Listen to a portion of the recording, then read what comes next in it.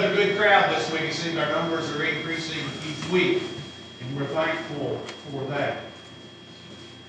I want to continue our thoughts from our lesson last week is I may or may not have gotten a little carried away in, in that lesson. I hope that it was beneficial for you. But I began the lesson by speaking about a job that may have been offered to you that offered you more money than you would ever have made in your life. The only problem was there was no definition of what your responsibilities would be, who your boss would be. And I asked you the question, would you accept such a job? And then what we see as we look here in our passage, when we appoint leaders in the church, and we, have, we try to appoint folks to take care of the work that has been assigned, oftentimes we in the church are guilty of just doing exactly that. And we need to understand and we need to learn that it is not really important what pleases man.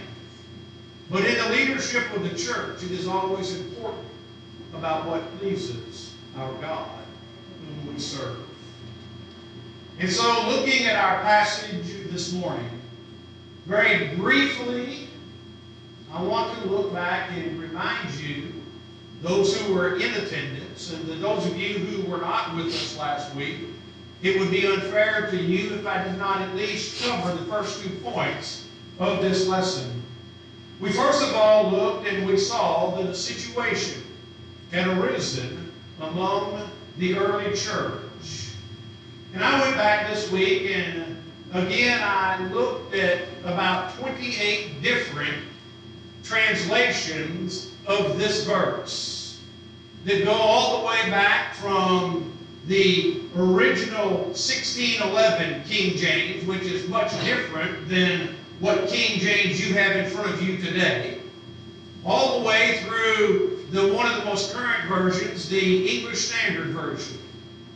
And I want you to know, as I talked about this situation that arose, what I want to point out to you and how it compares to our world today it was pitting one group of people against another group of people.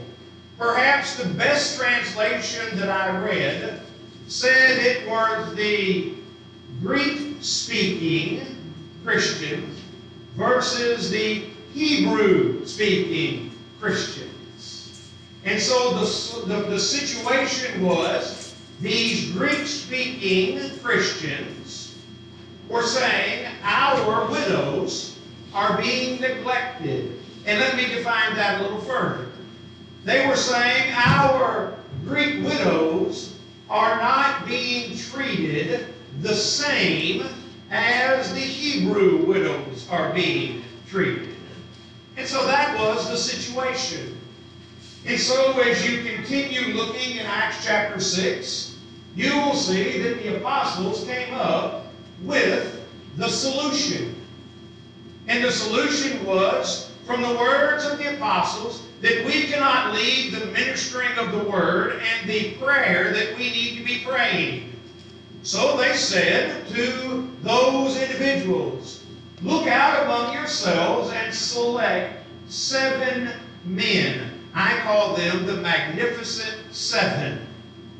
And so the solution was for those men to take care so that the apostles could focus on what God wanted them to do.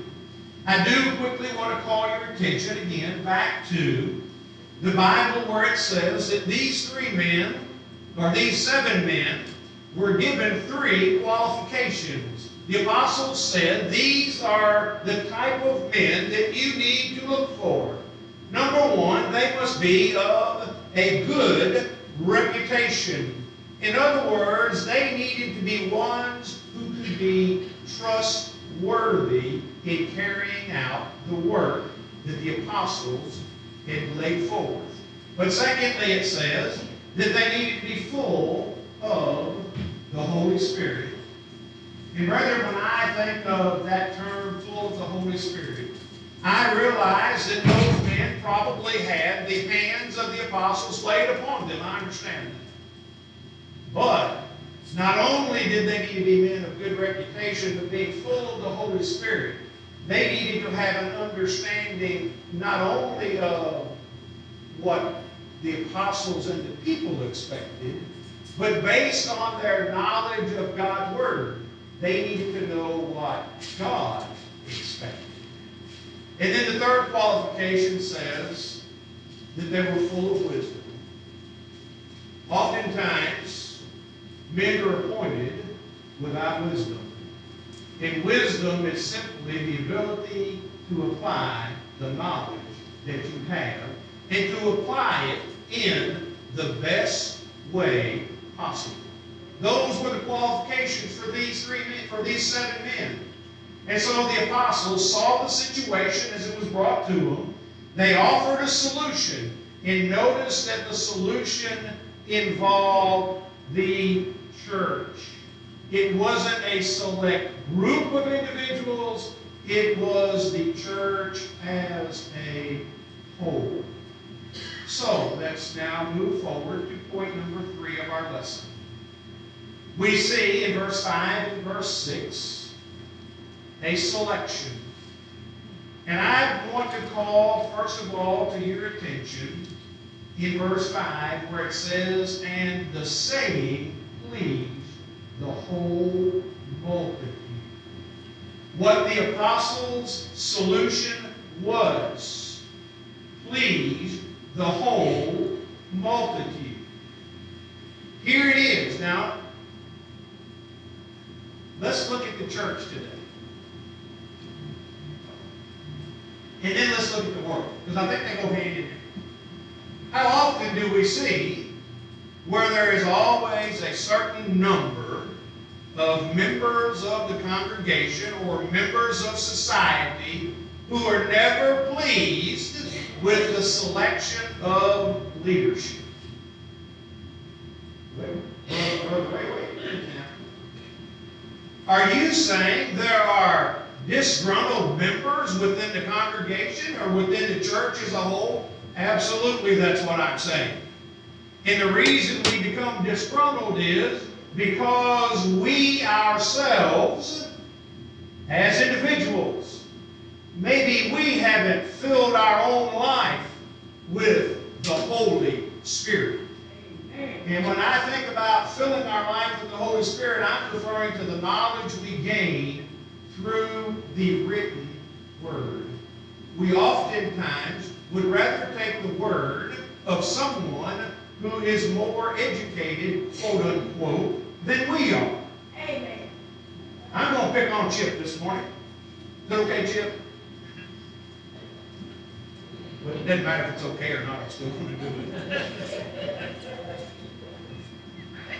I think many of you would agree with me that our brother Chip is one of the smartest and most knowledgeable men when it comes to Scripture.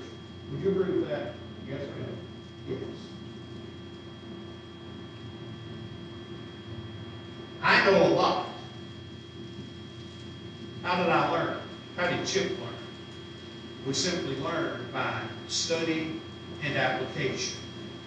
Now, are there times when Chip and I disagree with each other? Yes. Is that okay that we disagree?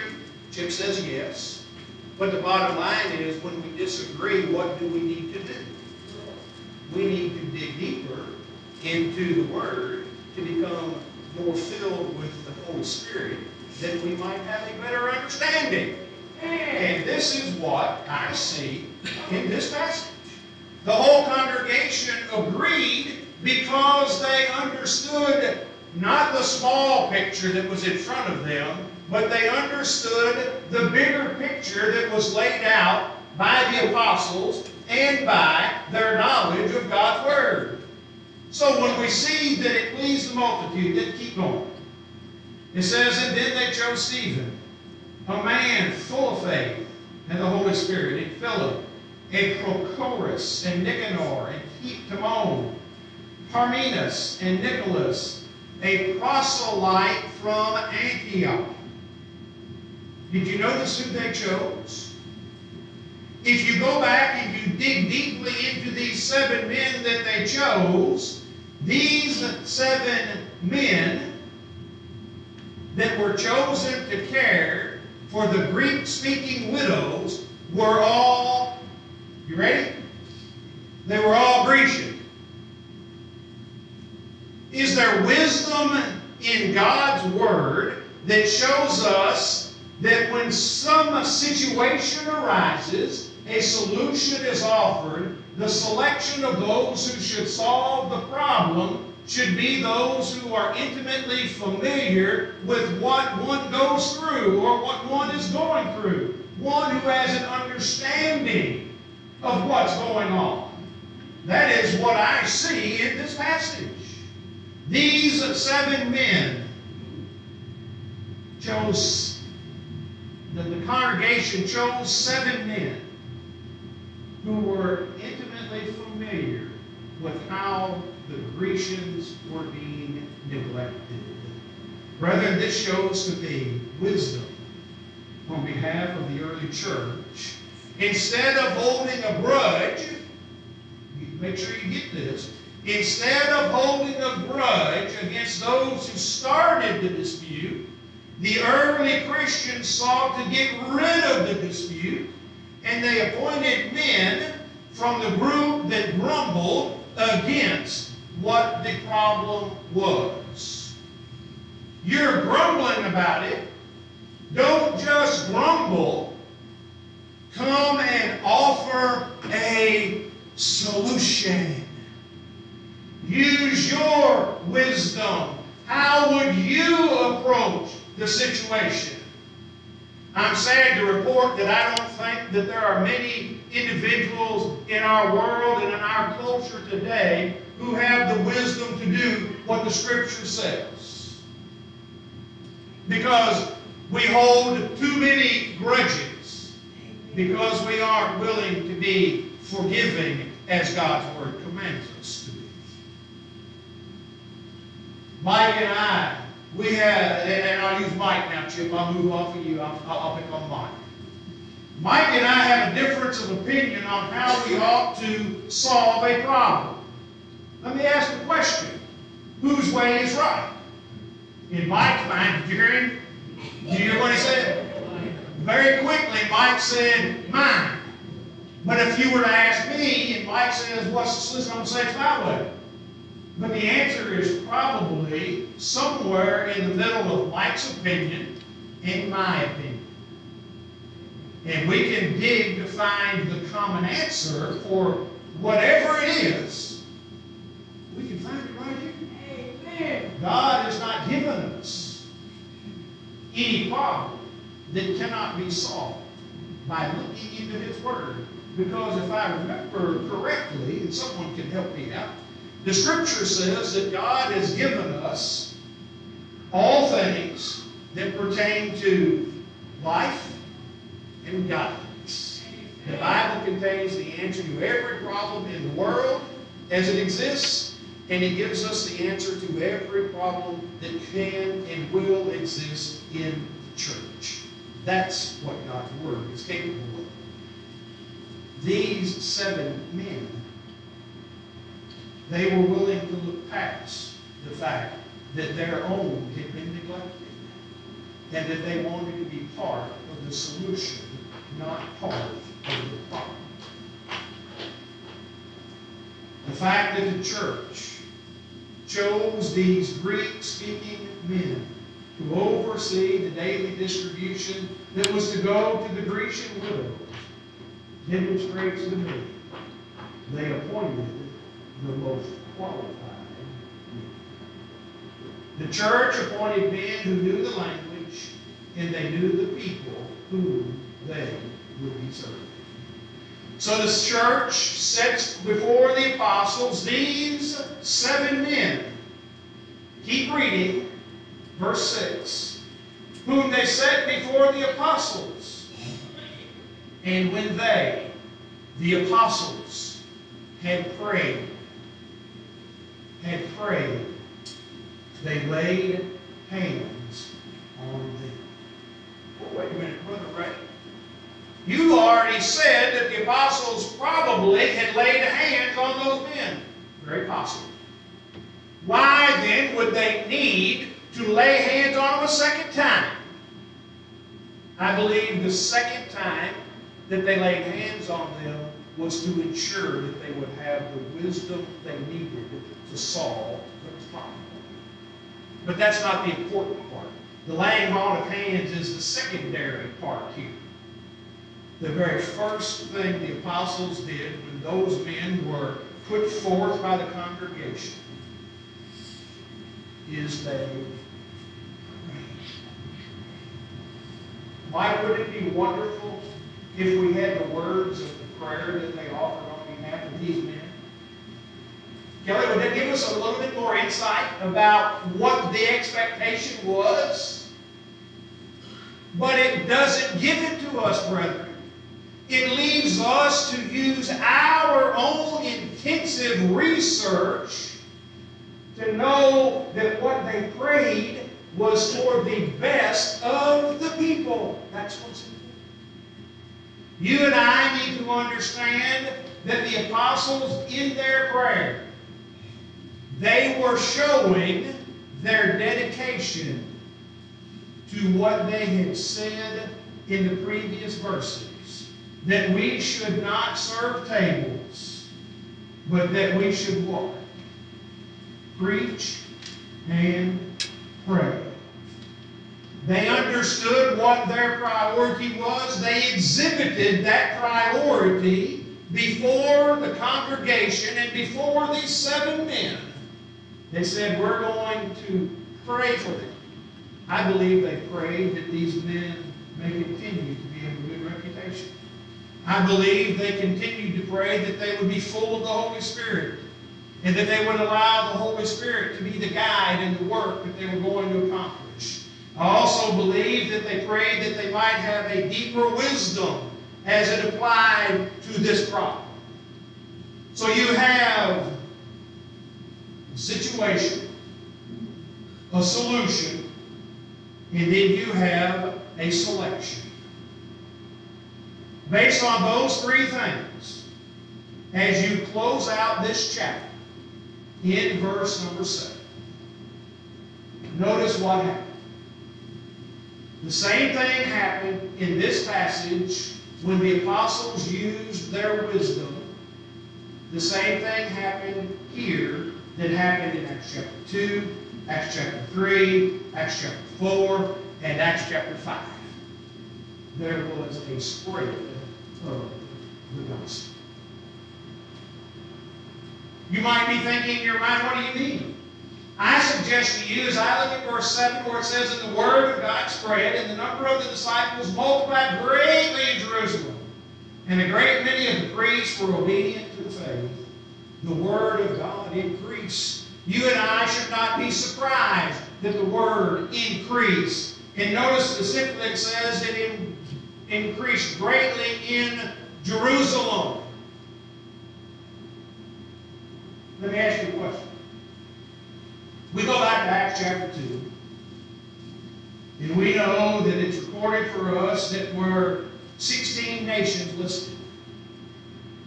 And we know that some of those 16 nations stayed behind in Jerusalem, as illustrated by Acts chapter 6. After those on the day of Pentecost saw the power of the Holy Spirit and what the apostles were able to accomplish by teaching God's Word, we read that there were what? Some 3,000 added to the Lord's church by the Lord. But the verse goes on and says, And the Lord added daily those who were being saved. I suggest to you that the Word of God increased because the people that were there, the people that saw those who were obedient to the gospel, it increased because those individuals lived the faith that they were supposed to be living. And so we see this increase taking place. So it should come as no surprise that after this particular incident takes place, that the Word of God continues to grow and to multiply. I suggest to you that the reason the word increased is because those who saw what took place, they saw how God's plan, not man's plan, worked. They saw that these men were appointed to take care of a problem. And I'm sure that they saw how that situation was resolved. And as they saw it being resolved by God's Word, they themselves wanted to become a part of the church. So here it is, the apostles being freed from waiting on tables, waiting free from caring about the benevolent needs of the church. They were free and able to focus on prayer and preaching. God realized in his wisdom that the apostles needed to pray and that the others would serve the tables so that the word could be confirmed. The word that was being preached could be confirmed by those who were carrying out the word. You see, the number of disciples, as we said, multiplied greatly in Jerusalem. And what's interesting to me in that verse is the last part. Notice it says, Notice it says, and a great many of the priests, of the priests were weak. Who were the priests supposed to serve? What role did the priests serve? And why is it mentioned here? The priests that are mentioned here were those who were still serving in the temple under the old law. In other words, through the actions that these priests saw, through what they heard, they saw that the old law was now of no effect and that the new law had come into existence. They had this understanding of the old law, which remember, the old law, what was it? It was a law that pointed where? It pointed to the coming of Jesus the Christ, the Messiah, the one who was going to come to give his life a ransom for many so that God could be patient, that God would wait for all to come to repentance, so that no one would be lost. The priests now understood because they saw this in action.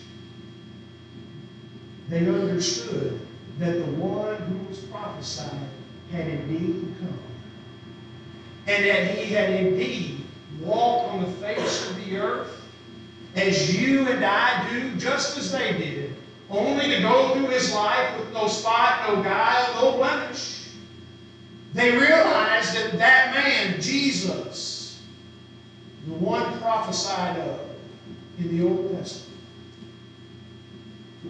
that he was the perfect sacrifice, the perfect sacrificial lamb for their sin and for our. They realized that he went to the cruel cross and that he gave his life. We gathered around the Lord's table to remember his death, did we not? They understood that his body, the flesh was torn. They saw and they knew that the blood had flowed forth. Before the crucifixion, when he was scourged and when the crown of thorns was placed upon his head. Brethren, the shedding of blood began even before Jesus was hung on the cross. They know that his, hands were nail, were nail pierced, and that his feet were nail pierced. They knew and they saw that his side had been pierced with the sword, and both blood and water flowed forth. They understood because they themselves, in my opinion, get me, you know what, you know what it means when I say in my opinion, right? You can take it or leave it. But I pray that I'm telling you the truth this morning. They had seen and witnessed what Christ went through. They were part of the multitude who cried forth, Crucify him! Crucify him! They knew. Now they gained a better understanding. Why? Because of the actions of the apostles and the action of these seven men. You see, the increase in the disciples and the conversion of the priests is directly attributed to the appointment of these seven. You can say, as we close this, you can say in your mind, this is an example of deacons being appointed. I will agree with you 100% that this is a good example of appointing leaders in the church. I agree with that. But the important lesson is really, in my mind, is not that. The important lesson is to see those who have been discriminated against being brought into equality with everyone. Remember, brethren, to God there is no crayon box. There are not 64 magical colors in God's sight. There is one color. There is one color. I cannot emphasize that enough.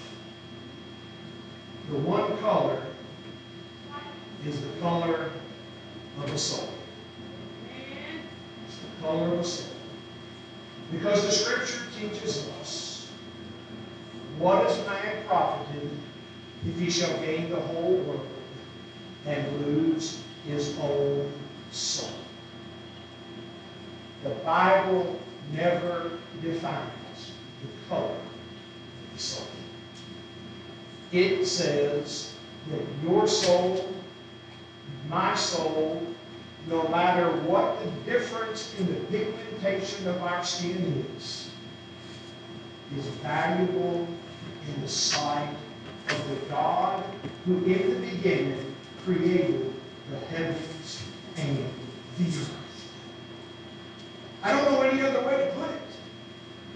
I wish our world today would learn that lesson. I wish our leaders would quit pitting this group against that group and treat us all as Americans. It's hard, brethren, sometimes. It's hard to stand before you and pray that I don't offend anyone. Because you all know I would never want to offend one of you. I would never want to offend one who is in need of salvation. Because I want to be like God wants me to be. And I pray that you will be who God wants you to be, and that is to be colorblind. Because that's the only way that we're going out and we're going to save a world that is lost and a world that is dying. And so as I close this morning, what we need to see is one of the very basic needs of people. People want to be cared about. And people want to be cared for. The question is, how do you, how do I care for you? This morning we may have one in our midst who's not a member of the body of Christ. And through faith in His Word and a willingness to put your faith in action, You will be one who will repent. Leave the way that the world wants you to live. Leave the grips of Satan and come and live in the way of God, where his arms are open to you like a loving father in the story of the prodigal son, waiting for you to come to him and to confess his son as the one who gave his life for you. And be immersed with him in the water of baptism, where you contact the blood and your sin can be washed away. And this morning, if you have done that, and you've allowed this old world, I got to quit saying it that way. If you have allowed Satan and his army to deceive you again and draw you back, you need to come home. You need to make acknowledgement, repent of those sins, make confession of those sins that are of a public nature before this assembly. Those of a private nature, I pray that you will take care between you and God before it's everlasting too late. This morning, if you need to come home if you need to leave the way of the world and again begin to live the way of God, we're here for you. We don't, we're, we're just like God. We don't want anyone to be lost. We want everyone to obey the gospel of Jesus Christ. But most of all, we want you to know that we care for you. And because we care for you, we want to help you get to heaven. And we can begin to help you if you will let us pray with you and pray for you. That's what God wants us to do. To use the same wisdom that the apostles used in spreading the gospel and being mindful of each other daily prayers. This morning, you know your need. I pray you come.